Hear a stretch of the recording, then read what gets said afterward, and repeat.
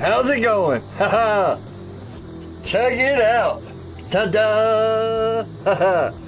Man, it's pretty nice and straight. I got to anneal it first. I got the oven cooking up to 1525 and it says then bring it down to 1300 pretty quick and then from 1300 to 1200 10 degrees but I went I went to Home Depot and got a big old thing of vermiculite and some buckets one of the buckets is from my spark bucket because that, that thing is more than halfway filled with metal and G10 and carbon fiber and whatever so I need to switch out buckets It'd be awesome to get a big magnet and separate it and smelt it all down because I've actually got two filled buckets filled with just scrap metal from my spark bucket. Let me get this bad boy in. Then I'm gonna work on my other knives while I uh, wait for this oven. I call, I wrote to um, the people that do the PID to see if I can get better instructions on this ramp and soak thing. Because to bring it from 1300 to 1200 at 20 degrees over like four or five hours is going to be crazy. So, you know, I'm going to stick it in the vermiculite after two hours coming down from 1300 and see how it does. So hopefully that'll work it out.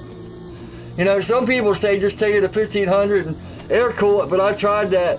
Uh, there's a guy that's like famous for 52100 and 5160, like Kevin Kershaw or something like that. If you type in a annealing 5160, his name comes up. So I'm going to give his plan a shot.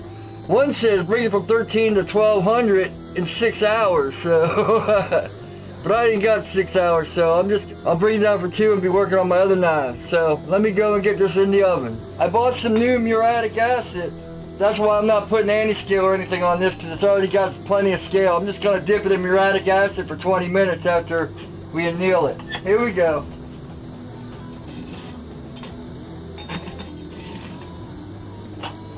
it's going to be like five or six hours, so, but we'll see afterwards. Also, I'm putting metal at the bottom of the bucket before I put the vermiculite in, just in case the knife falls to the bottom at 1200 degrees. I don't want it burning a hole through the bucket. the sides should be good enough. Here we go, into the vermiculite. We're at 1200.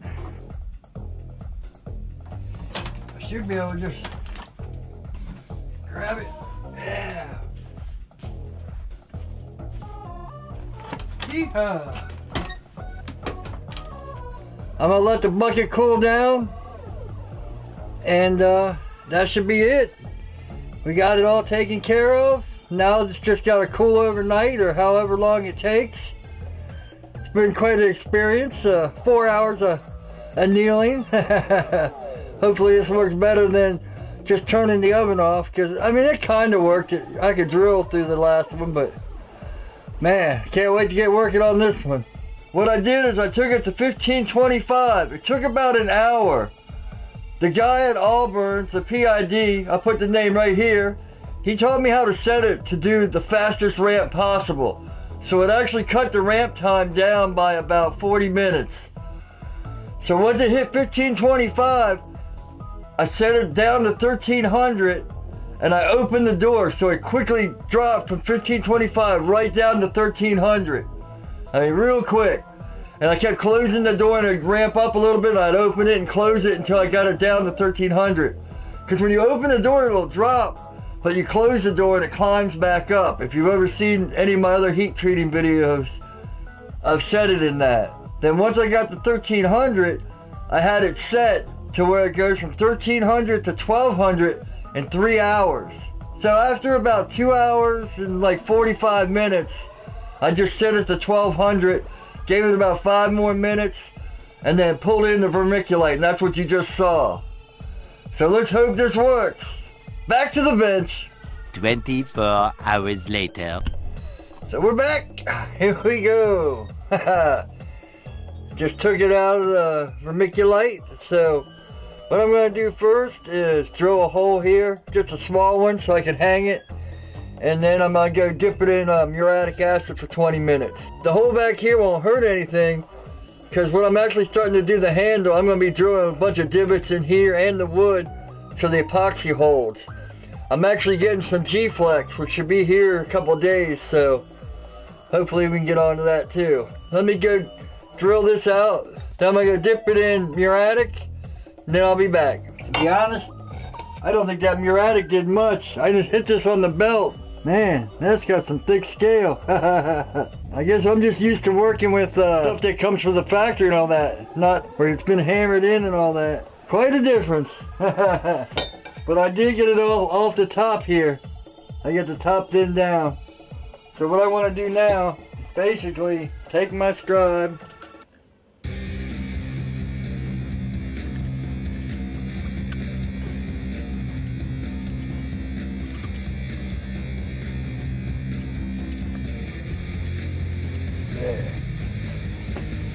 That's better.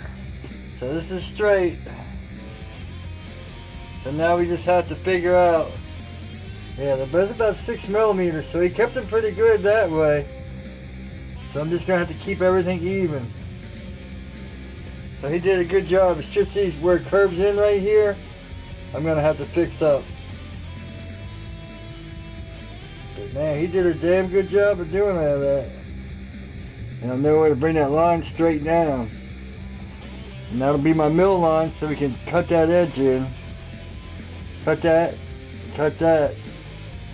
Then we can see, you know, back here looks about where we want to be. So we'll just have to bring this down just a little bit. All right, so, so I can fit this in my vise. I vacuumed them up. I took the calipers, fit right here. We'll just kind of have to eyeball it to get it straight, but now I'm gonna go put it on my platen and let's go grind it down. I'm just gonna bring this in. Just have to go my eyeball. You know, it doesn't have to be straight, it just has to be square here. So it fits. Just so I can get it in the vise and go from there. Alright.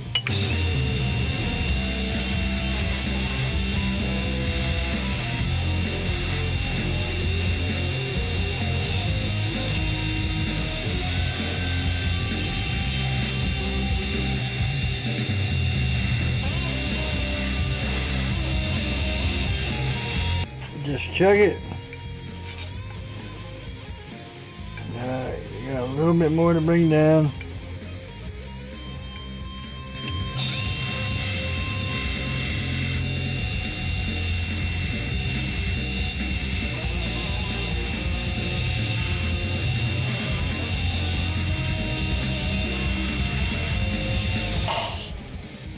All right.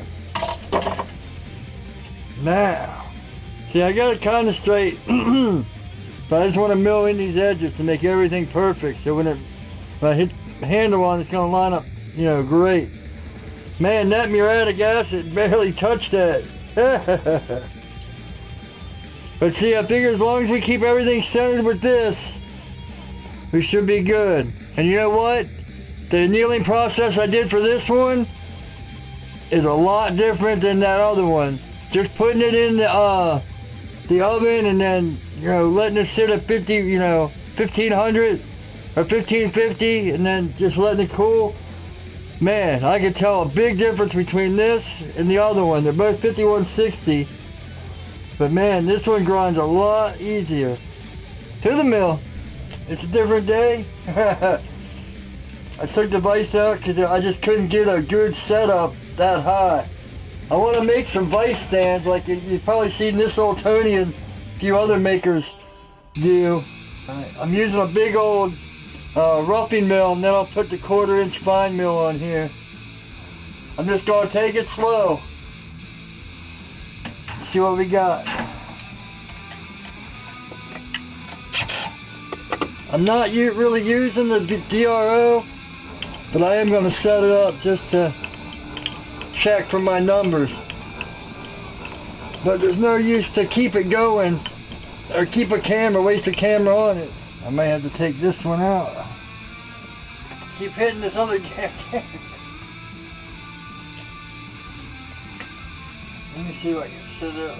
Man, there, that's a better shot. Now, and I got that camera out of my way. I'm just going to take it a little bit at a time. Hold on. I gotta go look up climb milling and conventional milling. Because it's spinning this way. I think you want it to, I think you want to feed it into it. climb milling, I think is going against it. So if it's coming this way, now let me go check. yeah, so since it's going clockwise, I want to feed it in front to back. Go this up here. Now, fire this thing up. Oh, let me lock down my Z and we'll zero it just to know where we're at.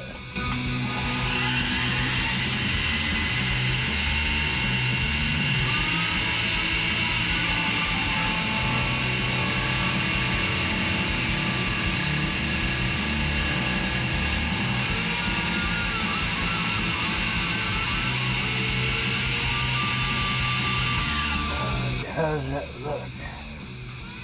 I cannot see anything. Oh, that's why I can't see anything. Bring it back. It will. Let's see. Yeah. And we're going to go over, take 30 thous off. Yeah. Okay. There we go.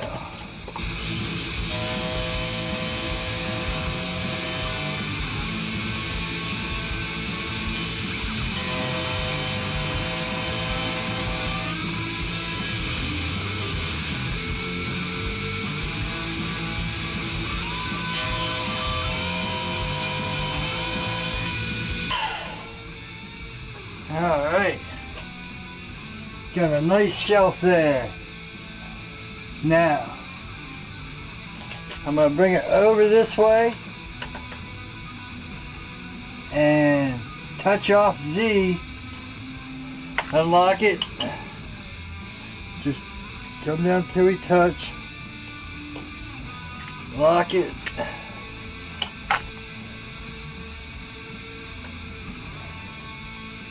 alright, bring it back out come over to zero, lock the sides down, put a little bit more dippity do on here. Let's do this.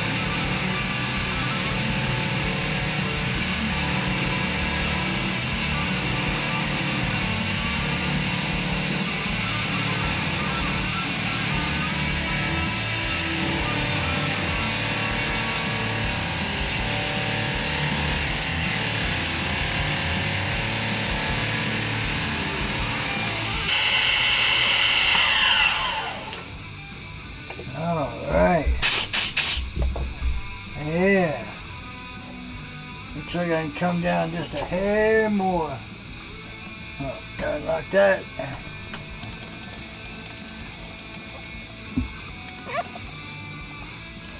Touch it off here.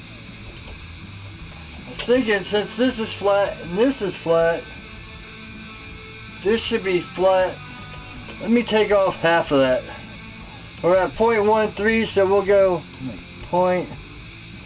Let me take off 0.5 and see what that looks like.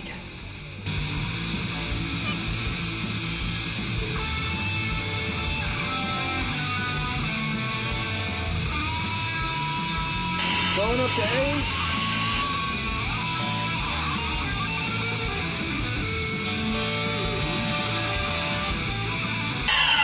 All right. All right, let me touch off here. Zero, lock in Z. We'll just take this slow.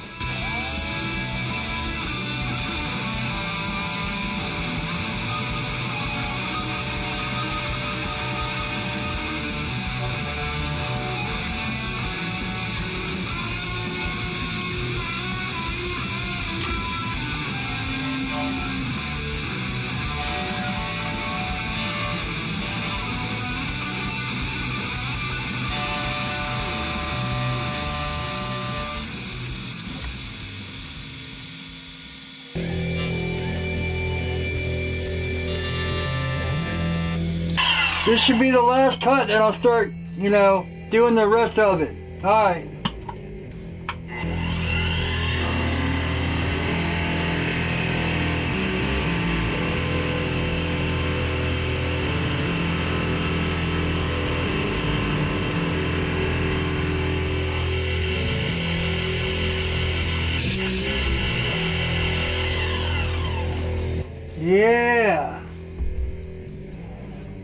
Looking good.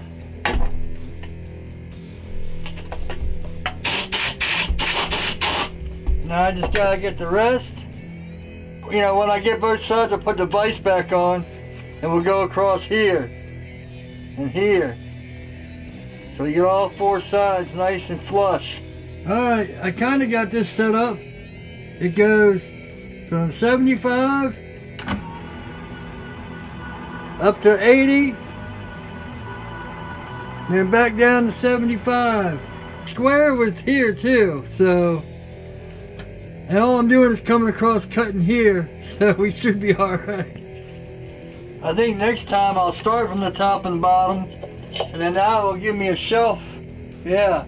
Well there's one thing I've learned. If I started at the top that would have given me the top and the bottom shelf and then I would just milled in the middle. Alright, always learning sometimes. Let's do this.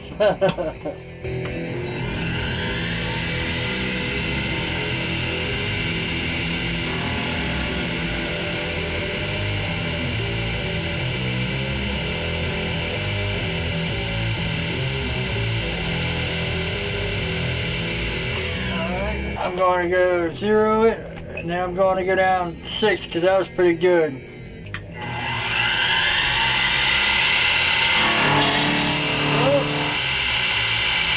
Nope, I didn't like that. Alright, so we know this is square. I was worried about this board not being square, but it is. Alright, there we go. I guess if I would have checked that in the first place, I would have been alright. okay. Instead of breaking out my dial. But I haven't used that Mitutoyo dial indicator. I've had it for a few months and never really used it. So, boys and their toys, huh? I should have done this in the first place. Get some wooden blocks.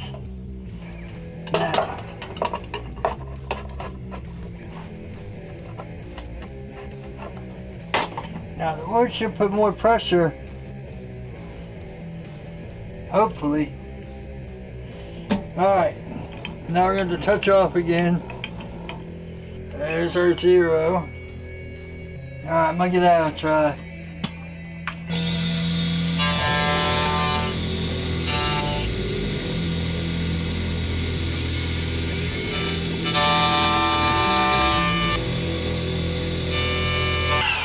I'm just to drop it uh, just a little bit at a time, like uh, maybe two, you know, 20 thousandths.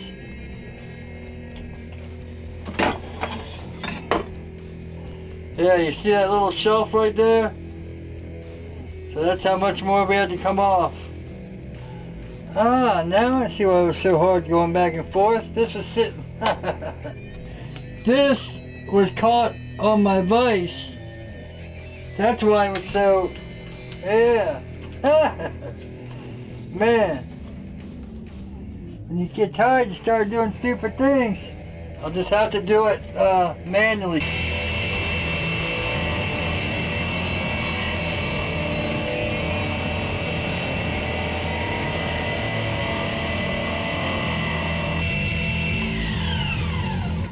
So yeah, look. Right here, and right here, I should have done the top and then the bottom first. Because now I just got to pull this back over. I'll meet you back at the bench, but we're pretty much done. Well, with this much, I still got...